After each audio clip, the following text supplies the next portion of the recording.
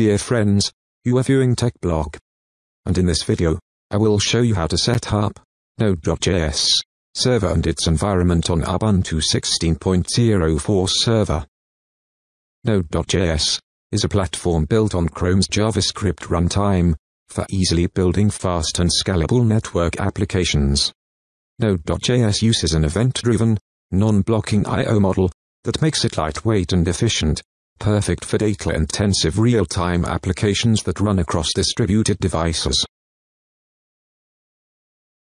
Here I am logged in as root user on my local Ubuntu 16.0 for server over IP 10.0.50.50. If you are logged in as a standard user make sure that you have the sudo privilege and use the sudo command before any command. So, first of all update your package lists from the repositories.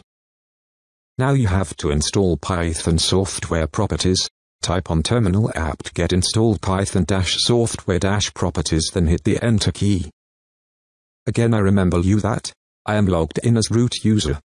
You have to use sudo first, if you are logged in as a sudo user.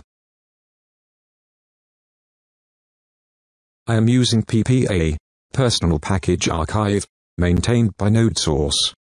This will have more up-to-date versions of Node.js than the official Ubuntu repositories. For this, we are using curl command to fetch bash script from nodesource.com.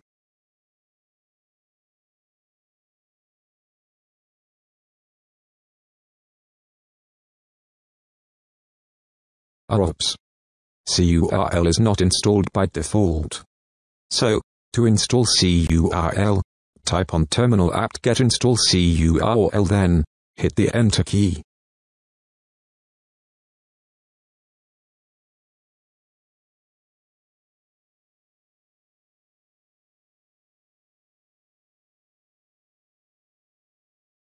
For the standard user, you have to use sudo-e before bash command. For me, it's not required, because I logged in as a root user, as I said before.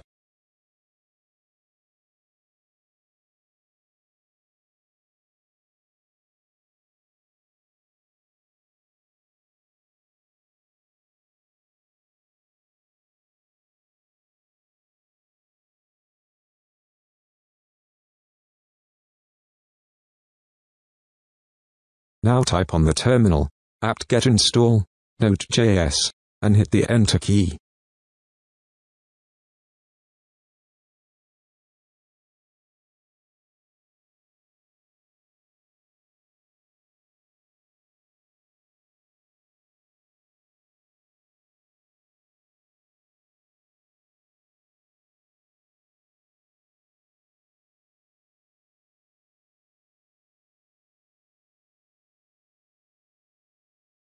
At the time of recording this video, the current version of Node.js is 7.10.0, as you seeing.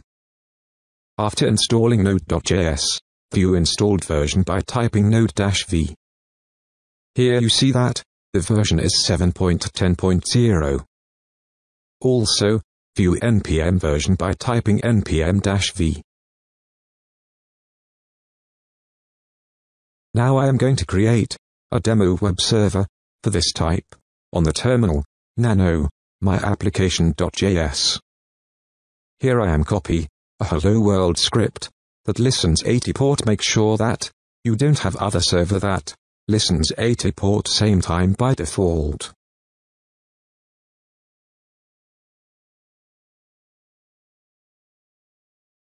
Save the script. Run the server by typing node-debug myapplication.js.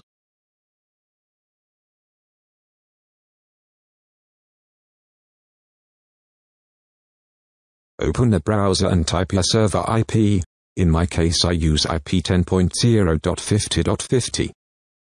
You can see it's working well. Thanks for watching this video, hope it is helpful for you. Don't forget to subscribe. Have a good day.